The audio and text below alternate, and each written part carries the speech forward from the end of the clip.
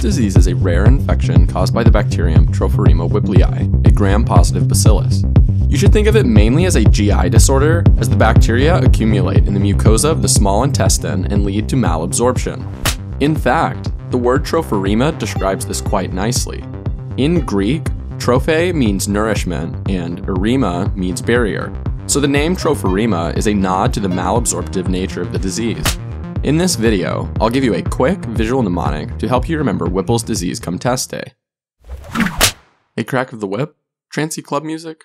We are clearly at some warehouse rave in Brooklyn. We med students have to let off steam somehow, right? Anyway, the whip is here to help you remember Whipple's disease and its causative bacterium, Tropheryma whipplei. Whip for Whipple. Nice. Now, now, no good rave is complete without ample lighting, and I only go to raves with black lights, which are obviously purple. That's right, the tasteful, subtle glow from the club's black lights make the image overwhelmingly purple. And what could the color purple represent in a micro video?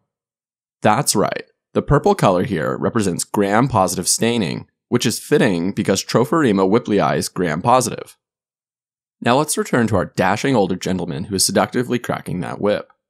That's right, Whipple's disease is classically seen in older Caucasian men, which is symbolized by this older Caucasian man. Now take a look at all that foam in the dancer's cage, because who doesn't love a foam party? And now that you mention it, the foam is kind of purplish pink, which somehow reminds me of PAS staining. You know, PAS, or periodic acid Schiff staining, the purplish pink stain that's used to visualize sugars. And as you probably already know, the cage here represents a macrophage, aka a macro cage. You see, Whipple's disease is usually diagnosed by biopsy of the small intestines, which reveals PAS positive foamy macrophages. To help you remember this finding on intestinal biopsy, the foam is coming out of an intestines like tube. Just so you know, PAS positive foamy macrophages is actually a buzz phrase for the night. Say it to the bouncer and you'll get in for free. On a more serious note, you need to be able to recognize an image like this come test day. So let's take a look. First, this image is taken from the mucosa of the small intestine, that is, the outermost slash surface layer. Now, the mucosa itself is also made up of a few layers, the outermost of which is the epithelium, which you can see here. Now, forget about the epithelium for now, because what we really want is what's underneath it. Underneath the epithelium lies the lamina propria, which is basically just loose connective tissue. As you can see, we have a bunch of foamy macrophages that stain strongly PAS positive. So, why is this happening? Well, it's because the macrophages actually have Tropheryma whipplei inside them, and the PAS stain is picking up on the glycoproteins in the cell wall of the bacteria. This is high yield, as the finding of PAS positive foamy macrophages in the lamina propria is a hallmark of the disease. If you can only remember one thing from this video, this should be it. Okay, okay, so let's check in with our dancers' adoring fans. See all the beautiful people happily enjoying the rave? It seems that some of the women in the image have really gone all out with their outfits. They are sporting the gold butt look, which is all the rage on Instagram these days. To see the whole Pixorize team sporting this look, jump on over to the Pixorize Instagram page and give us a follow. Seriously though, this is an Instagram trend. You should stop studying so much and keep up with pop culture more. But seriously, David, what could a yellow butt represent? Well, let me tell you. A yellow butt makes me think of yellow stool, which then makes me think of steatorrhea, yeah, not so hot now, huh? Recall how Whipple's disease is a disease characterized by malabsorption.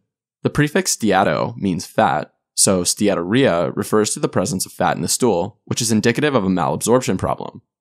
This makes sense, right? Remember all of those PAS positive foamy macrophages? They were in the lamina propria of the small intestine, and as I'm sure you know, the small intestine is involved in the absorption of nutrients.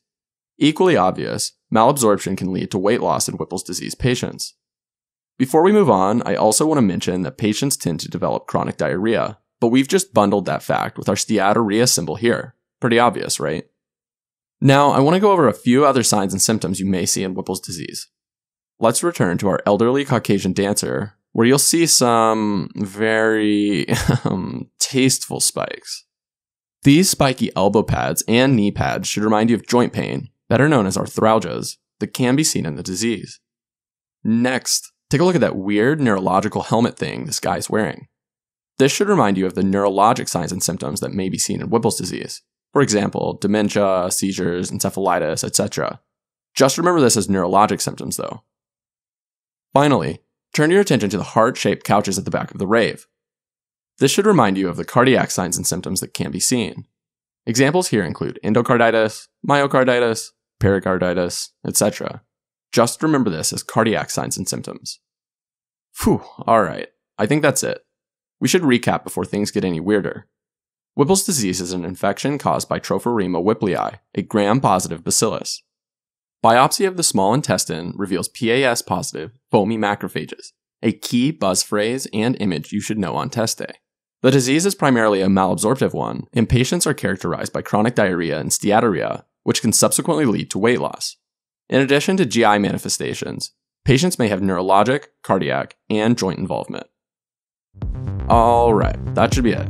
Now I've got to get out of here. My whip's out front. I'm talking about my car this time. Thanks for watching. For more videos like this one, click here to subscribe to our YouTube channel. You can also support our team by visiting pixorize.com, where you'll find exclusive videos and interactive review images. If you like what we're doing, share with your friends on social media, and we'll keep making great content like this. We'll see you next time.